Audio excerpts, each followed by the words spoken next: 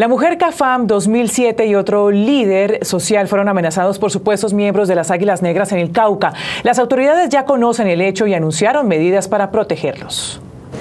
En este panfleto que circuló en las últimas horas en Popayán, se amenaza de muerte a Janet Mosquera, mujer cafán del año 2007, a otro líder comunitario y a sus familias. La dirigente social mostró preocupación por la intimidación.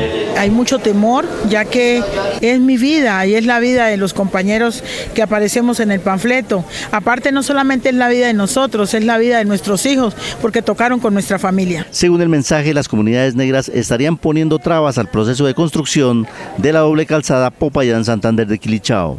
Janet Mosquera lo único que ha hecho es apoyo, tratar de guiar un poco a la comunidad, pero no más, yo no, yo no, el consorcio ni siquiera creo que sabe quién es Janet, ni yo sé quiénes son ellos. Entonces yo no soy quien para venir a parar una obra de esa magnitud. Aunque las autoridades deslegitimaron la autenticidad del panfleto, adoptaron medidas para proteger la integridad de los líderes amenazados y nosotros inmediatamente activamos la, ruta de atención donde intervienen derechos humanos de la Secretaría de Gobierno, derechos humanos de la policía, la policía, UNP, CTI.